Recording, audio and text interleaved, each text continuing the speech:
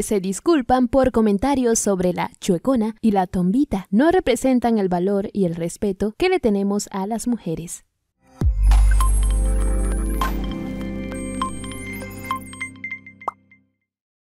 Arrepentidos. Hacer comentarios subidos de tono sobre las modelos Josmeri Toledo y Fátima Segovia, más conocida como La Chuecona, obligó a los conductores de Gol Perú, Jorge Kiefer y Maxi Mendaña, a ofrecer sentidas disculpas por el audio que se hizo viral en redes sociales. En el campo de juego viene circulando un video con, mala intención y lo que a mí me queda decir simplemente es, si es que se ve alguna persona eh, afectada, eh, desde aquí nuestras más sinceras disculpas, porque no es nuestro motivo para nada poder ofender ni maltratar a nadie, eh, simplemente ello. Dijo Jorge Kiefer con mucha incomodidad.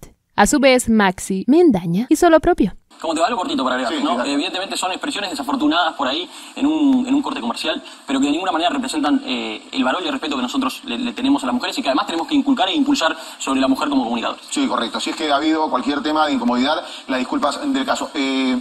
El comentario de ambos conductores se dio durante la transmisión de una publicidad de una empresa de apuesta en línea peruanas, donde aparecen Josmeri Toledo y Fátima Segovia. En el audio se escucha como los conductores mencionan a la chuecona y la tombita, haciendo comentarios muy subidos de tono, que han generado todo tipo de reacciones en redes sociales.